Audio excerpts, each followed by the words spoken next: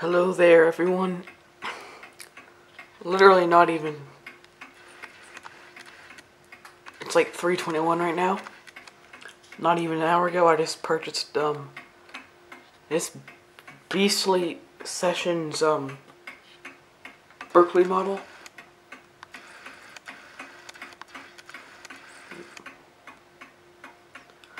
It's a very beautiful clock. Um, it's not in the worst condition, but it's not in the best. The dial is obviously in pretty good condition.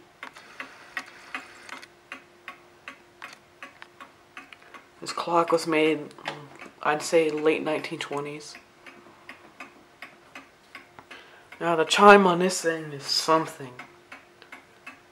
It is the scariest, deepest chime known to mantle clocks, okay? I'm telling you, this thing has a beast of beastly chime. Here's a good look at the clock.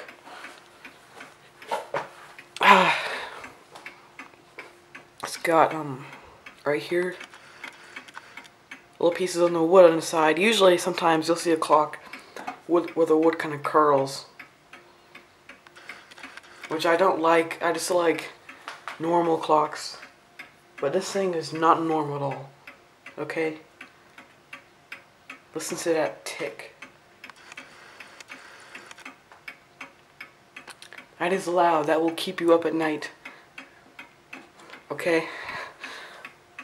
I'm just kind of in shock right now because I haven't bought a clock in a while.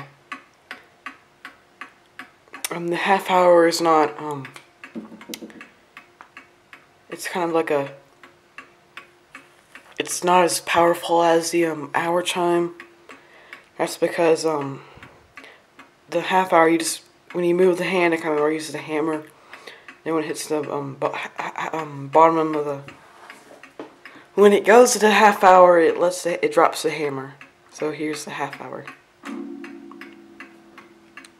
Now time for the the grand finale, the full hour chime on this thing.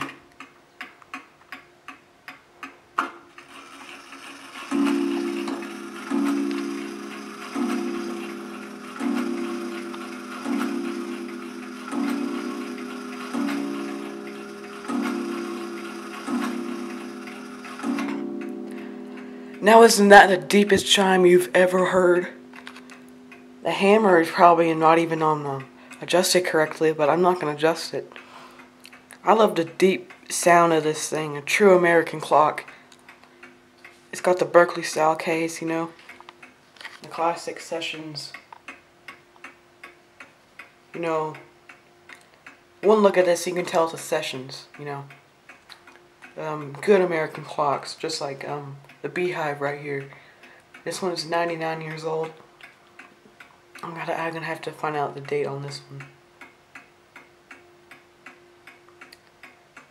Anyway, I'll show you the movement later because my battery's about to die in five seconds. So, see you guys next time. Bye.